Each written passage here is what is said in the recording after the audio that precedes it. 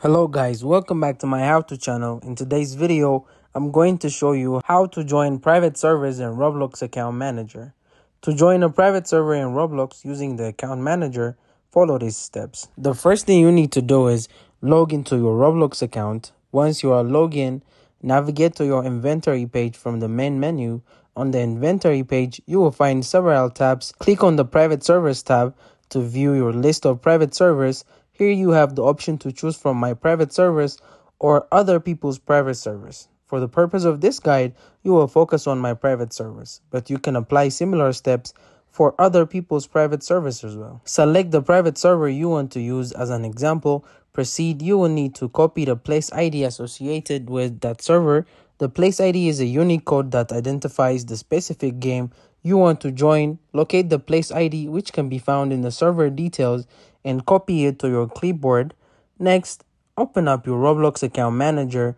If you don't have the account manager application yet, you will need to open it and log in with your Roblox credentials.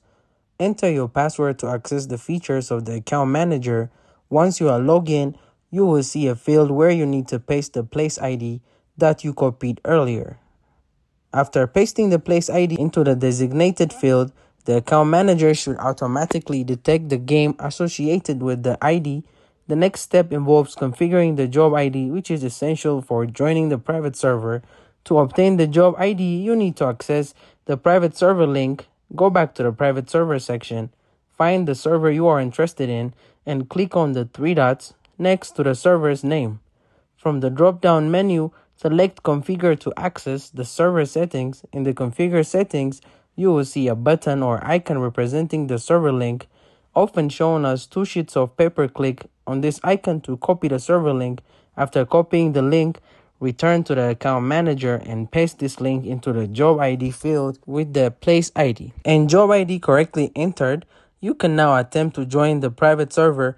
The account manager should direct you to the private server using the settings and accounts you have configured. This process allows you to connect to your chosen private server and start playing with your friends or continue your game session.